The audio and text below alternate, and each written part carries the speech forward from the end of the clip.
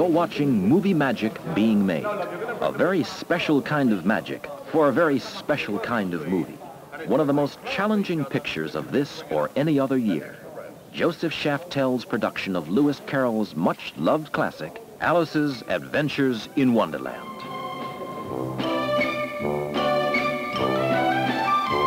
I'm right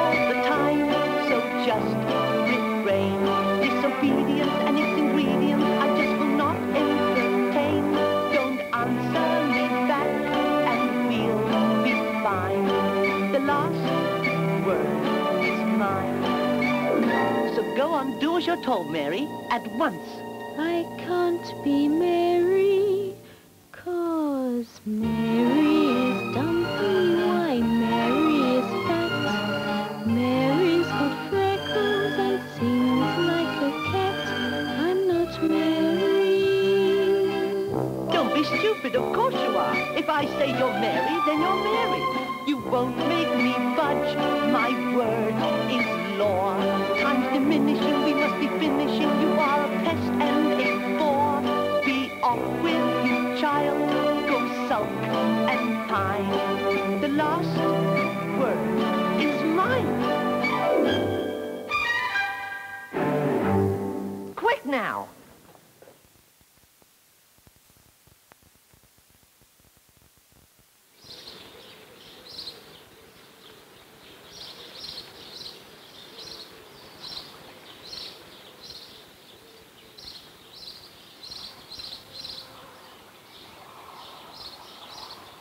Alice's Adventures in Wonderland has become one of the great masterpieces of English literature, loved by children and adults the world over.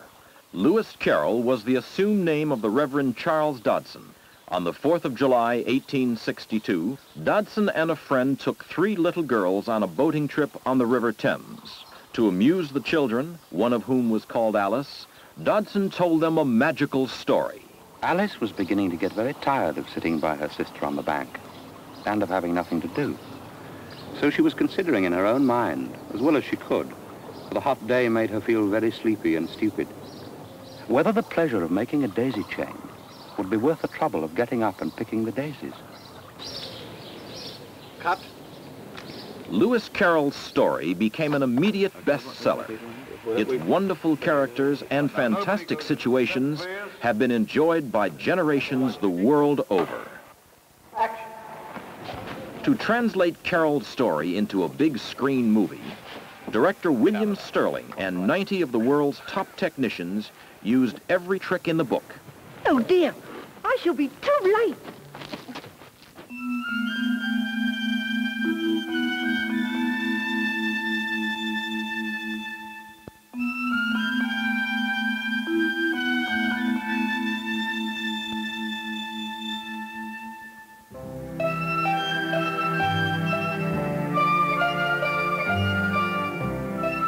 Alice's fantastic adventures begin when she follows the White Rabbit. He leads her into a mysterious wonderland, a marvelous magical place where anything can happen and does.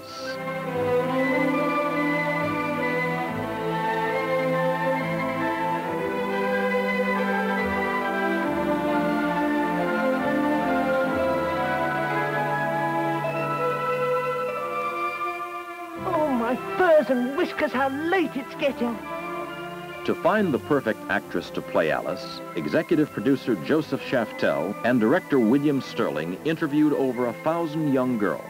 The search took over a year. Of all the faces Sterling had seen, only one remained in his memory. Her name was Fiona Fullerton. He thought she would be perfect, but Shaftel and his producer Derek Horne were not quite so sure. There she is, Derek. Lewis Carroll's Alice in Wonderland. Lovely child, what everybody expects to see. How old was she? Oh, she was seven and a half. Well, we just have to find a seven and a half year old child, that's Seven and a half is too young. She's got to sing and dance. Well, there's got to be, there's got to be a seven and a half year old girl in this country somewhere who can sing, dance, be enchanting, and do all the things that everybody's expecting her to do. All we have to do is find it. Yes, and she's got to do, do it for 12 weeks. Look, we have some children out there. I'd like to see them, right? Elizabeth, bring the children in. Alexandra and Abigail. Ah, there you are. Hello. Hello. Tell me, you know why you're here? No. Yes. You dance? Yes. Have you ever acted before? No. Would you like to? Yes. Do you sing? Well, sort of. Can you dance? Yes. Do you know the story of Alice? Yes. When did you first read it? Uh, when I was nine. Nine. You dance, Elizabeth? A little bit. A little bit. Ballet? Mm-hmm. And do you dance? Yes. Do you like to play Alice? Yes. Tell me something. Did you read Alice in Wonderland too? Yes. You no. like to? You've never read Alice in Wonderland? My, my, my, my. Thank you very much for coming. Goodbye. Bye-bye. Uh-uh. Sorry, Dirk. Not quite right. So the search continued. Interview after interview. Photograph after photograph. But still the memory of one face remained with Sterling. The girl he had first seen in a Sunday newspaper color supplement. Fiona Fullerton. But to look the part is not enough. She was given a full and exacting screen test.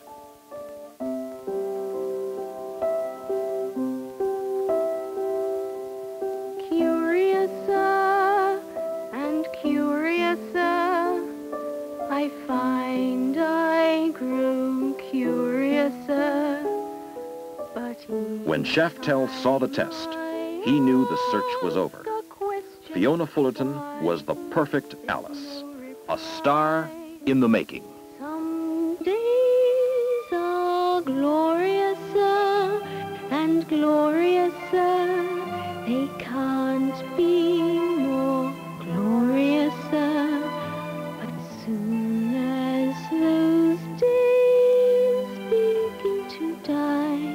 And this is how the Curiouser number appears in the finished picture. One of 16 new hit numbers specially composed by four-time Academy Award winner John Barry. Don Black, the lyricist, and myself, we went down to uh, Mallorca. We just worked for seven weeks with no telephones, no interruptions, and we finished the whole score in seven weeks and orchestrated most of it too at the same time. There are obviously certain things you can do, certain things you can't do, but you are doing a musical. Um, you have to open it up. I think it's very wrong to be stuffy. It's a marvellous piece. It's a marvellous piece of nonsense. I quite frankly don't know what the hell it's all about. It's a lot of fun. Uh, it started off being written or being told purely as in a spontaneous manner to the young girls. And I think essentially in the music, this is what the spirit that we've tried to enter into, capturing that lightness and not getting too heavy, making everything so relevant, which everybody tends to do today. It's, it's, it's relevant and it's nonsense. N- nonsense is still very relevant, I think. I think we could do a, a little more of it. The nonsense was put onto film on H Stage at Shepperton Studios, the largest stage in Europe. In bringing Lewis Carroll's wildly imaginative Wonderland to life, it was decided to remain faithful to the way Sir John Tenniel had illustrated it in the original book. It was to be a storybook wonderland as a child would imagine it. A small army of craftsmen were hired to turn the vision into reality. They used enough paint to cover the runways at Kennedy Airport five times over. Enough polyurethane to make a million plastic coffee sets. Enough canvas to cover the Empire State Building. And there was a side order of three million paper leaves which had to be stuck to the hundreds of trees which are to be found in Alice's Wonderland. Every set was modeled in miniature before it was turned into the real thing.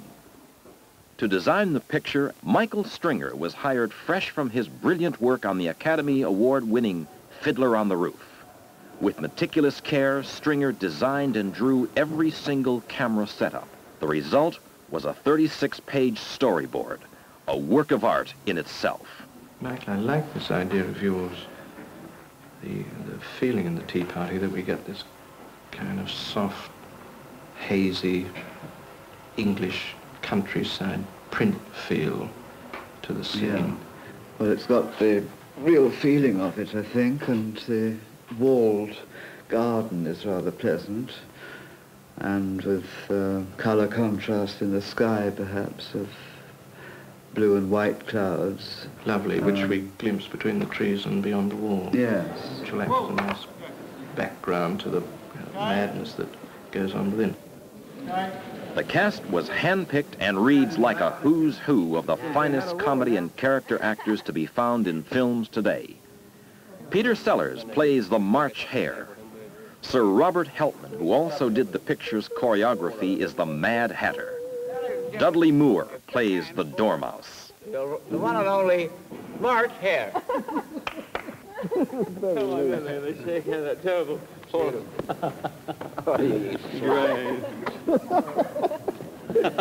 How are you? With this wacky trio, the fun never lets up. I'm sorry. Sit down, yes. Oh, God. all right. I thought you were still making your mind No up. hard feelings. Can you just do the it was the best butter, Peter, just to give it... That's it. what most... Sorry. Action. It is the same with you. Oh!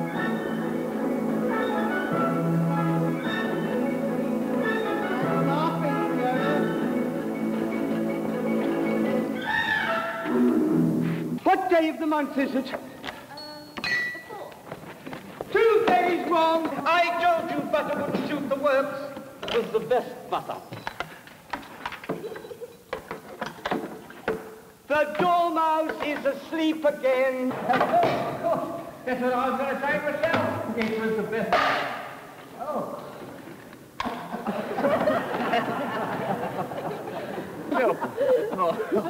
The rehearsal over, director Sterling went for a take. And this is how the Mad Hatter's Tea Party looks on the screen. Have a plan. what fun. A riddle or a pun can provide a feast of fun. The worse they are, the best they are. It's hard to find a rotten one. But once you find that jewel, the feeling's beautiful. These are the kind that we all find quite irresistible. I've got one. Who walks like this? I haven't the faintest idea. Do tell me. Who walks like that? I do. No! That's awful. Oh, but that's absurd. It's as bad as anything I've ever heard. It's madness. It's insane. But not half as daft as this one that I managed to obtain. Now then, where was the Magna Carta signed? Uh, I don't know. Where was the Magna Carta signed? it was signed at the bottom.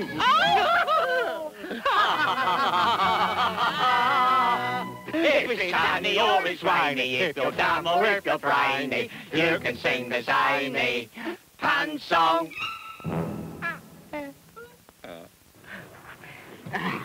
Wake up, Dormouse!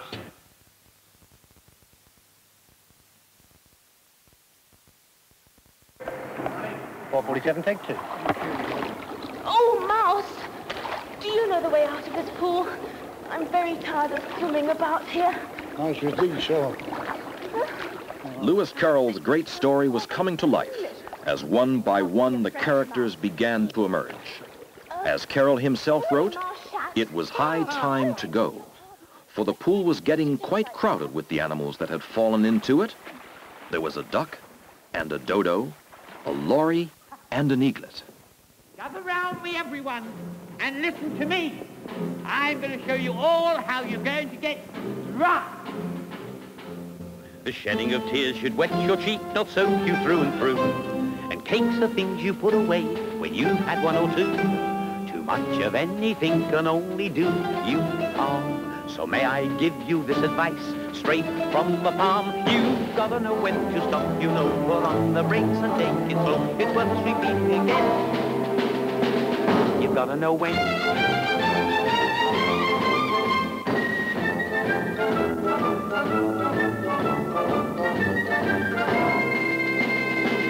You gotta know when. Mice, March hares, mock turtles, dodos, and frog footmen. Just some of the crazy characters that Alice meets in Wonderland. To reproduce these characters on the screen just the way Tenniel had drawn them required the talents of one of the movie industry's most inventive makeup men, Stuart Freeborn. Oh dear, if my mother should see me now. There we go.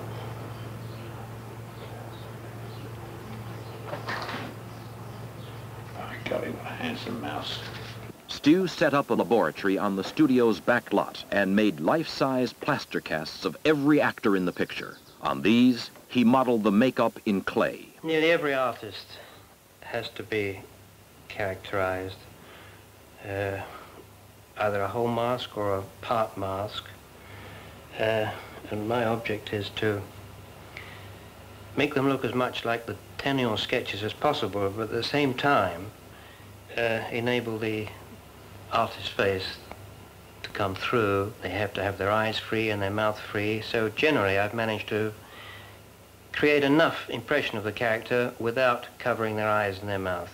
That I found seemed to be the most suitable thing for the picture.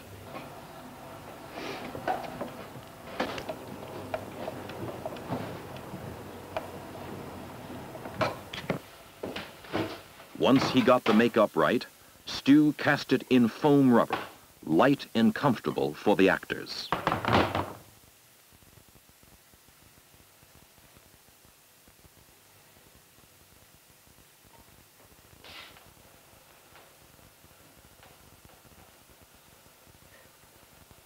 The rubber masks were then hand-colored, each strand of hair being individually applied.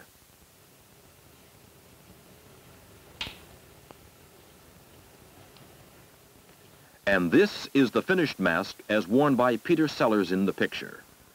This is the White Rabbit's makeup as played by Michael Crawford. After 10 months of painstaking pre-production work, shooting started on April 12th. Each stage was filled with a huge lineup of talent. Choreographers, musicians, dancers, and actors for one of the most spectacular scenes in the picture. The grand procession through the vast Queen's Garden set. Rainbow adventure filmmaking in a great tradition. The King and Queen of Hearts are played by Dennis Price and Dame Flora Robson.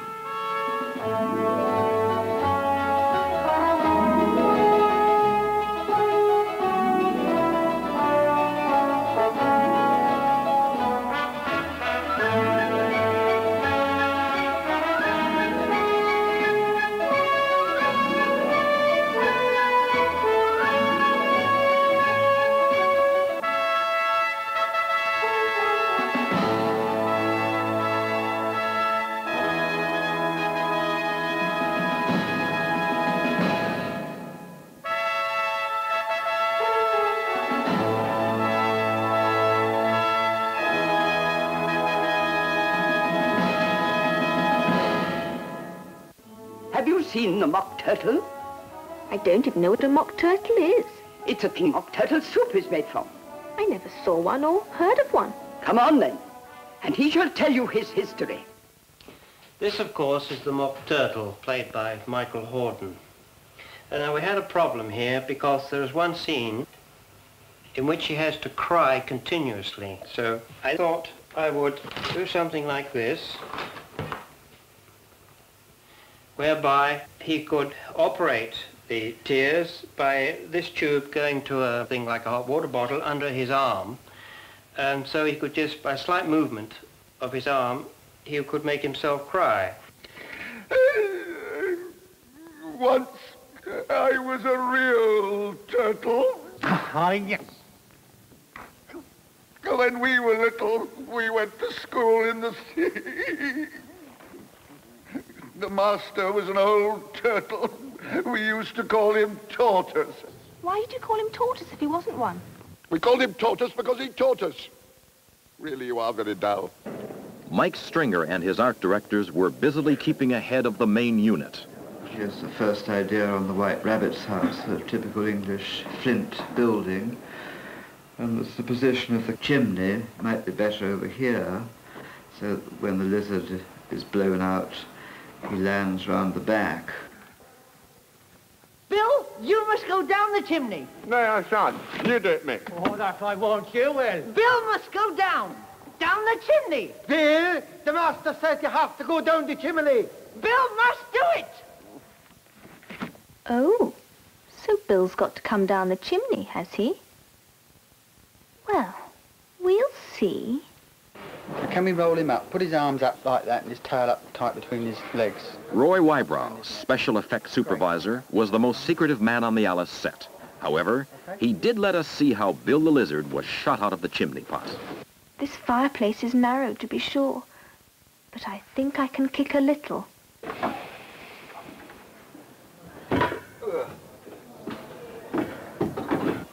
Good. Right, ready. Let's go fire it.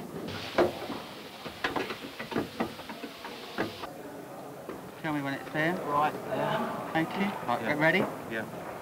Ready? Right, fire. There goes Bill. There goes Bill, flying with tremendous skill. He's had a nasty shot, no doubt. Hurry, get that brandy out.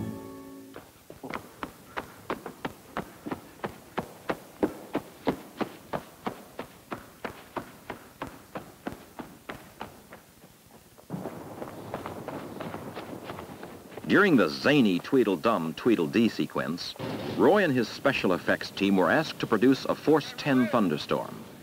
With the help of five wind machines and a giant aircraft engine, plus a ton of autumn leaves, Roy simulated a storm at the flick of a switch. Okay, well.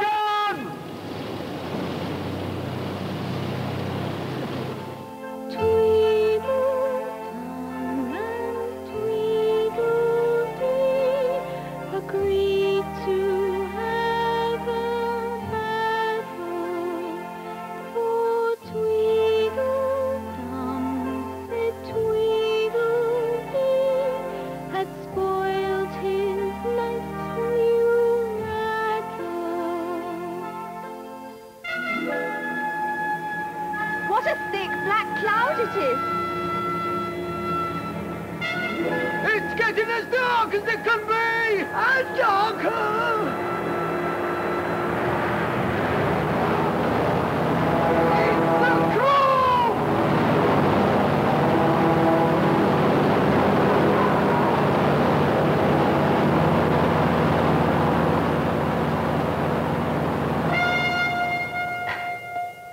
The most carefully kept secret of all is the way in which Alice, after drinking some magic medicine, shrinks to nothing before your very eyes. See if you can work it out, because nobody's going to tell you how it's done. I must be shutting up like a telescope. And if you think that's clever, then how about the way in which Alice grows to a The height of 30 feet in comparison to the rest of the life-size cast? Who said the camera never lies? I'll zoom like a rocket as fast as I can, now that I have my gloves and my fan. If you please, sir.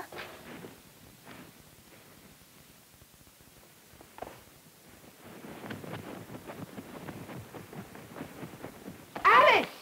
Here! Rule 42, all persons more than a mile high to leave the court. I'm not a mile high. Oh, yes, you are. Nearly two miles high. Well, I shan't go. Besides, that's not a regular rule. You invented it just now. It's the oldest rule in the book. Then it ought to be number one. Hold your tongue! I won't. Off with her head. Off with her head. Off with her head. Off with her head. Off with her head. Off with her head. Off with her head. Off with her head. Off with her head. Off with her head.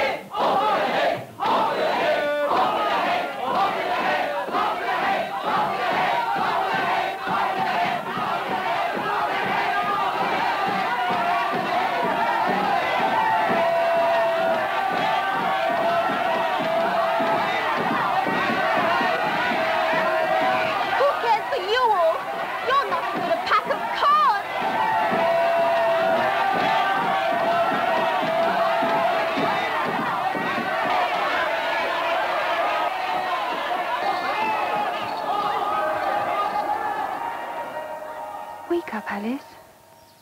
Wake up. Why, what a long sleep you've had. Oh. Oh, I've had such a... a curious dream. It must have been a curious dream, certainly, Miss Alice. But come now. It's time for us to go. It's getting late.